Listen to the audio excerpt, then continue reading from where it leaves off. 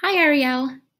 Today we're going to be reading Snowflakes in the Summer, written by Anne Harth. I don't know about you, but where I live, there are never any snowflakes in the summer. It's always really warm. So here goes Snowflakes in the Summer. Grandpa sat on the couch. His face was red, sweat dripped down his cheek. Want to go for a walk? Kayla asked. Grandpa wiped his face. No, it's too hot. Wow, see how sweaty Grandpa's face is? Kayla was hot too, but she loved summer. Grandpa hated it. He never wanted to do anything. Do you like summer? Is it one of your favorite seasons? We could visit Mrs. Peters, Kayla said. She always has cookies and lemonade. No, Grandpa said. It's too hot to go anywhere. Kayla opened the hall closet. Let's play a game. She took down a pile of games. No, Grandpa said. It's too hot to move. He closed his eyes. Are any of these games games that you like to play? Kayla sighed. She wanted to do something. If Grandpa felt cooler, maybe he would play with her. But how could she help? Grandpa snored. What do you think she's going to do? Kayla looked around the room. The sun shone through the window. The chairs were red and the table was orange. The rug was dark brown. It is hot in here, Kayla thought. It even looks hot. I know, Kayla said. She ran to the desk. She took paper and scissors from the top drawer. She folded the paper into a triangle. She folded it again and again. Grandpa still snored. What do you think she's making with the paper? Kayla cut the corners from her triangle.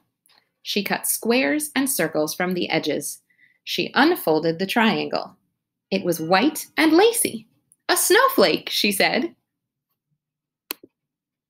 Kayla made six snowflakes.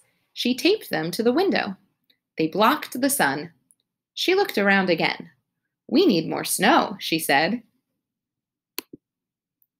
Kayla found some white sheets. She draped them over the furniture. She spread them over the rug. She stepped back.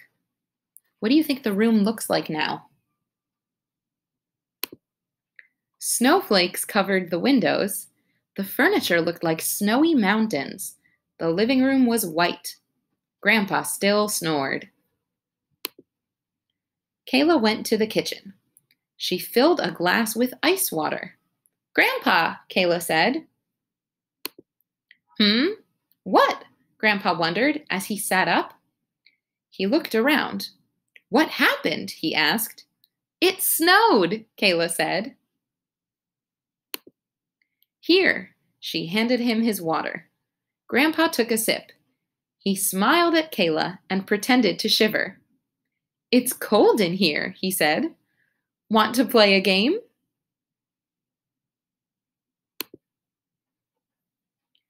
So, our first question is When does the story take place? What season do you think this story takes place in? Bet we can find the answer right at the beginning.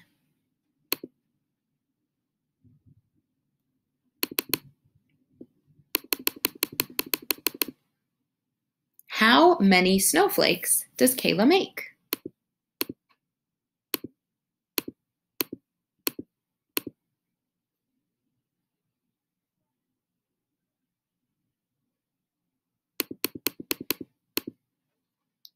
Why does Kayla decorate the apartment? Let's see if we can find the page where she talks about why.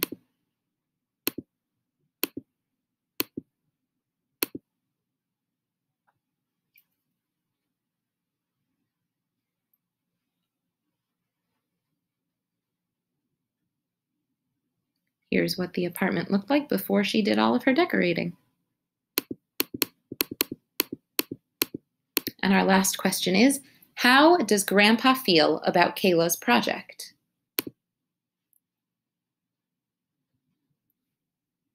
And that's it. Thanks so much for reading with me today. Bye.